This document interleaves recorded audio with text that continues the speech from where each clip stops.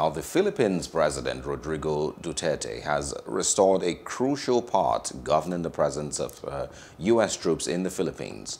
A deal was reached after the two countries' defense ministers met in Manila. The Visiting Forces Agreement provides rules for the rotation of thousands of U.S. troops in and out of the Philippines for war drills and exercises. It has assumed additional importance as the United States and its allies contend with China. The President decided to uh, recall or retract the termination letter for the VFA.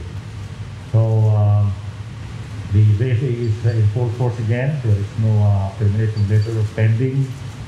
And uh, we are back on track uh, specifically to plan for future exercises under the VFA. Our countries face a range of challenges, from the climate crisis to the pandemic.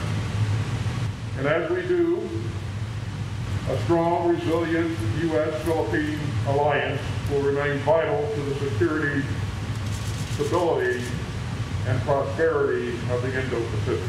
At the top of my agenda was finding ways to enhance and reinvigorate our alliance and our mutual defense treaty. These include maritime cooperation,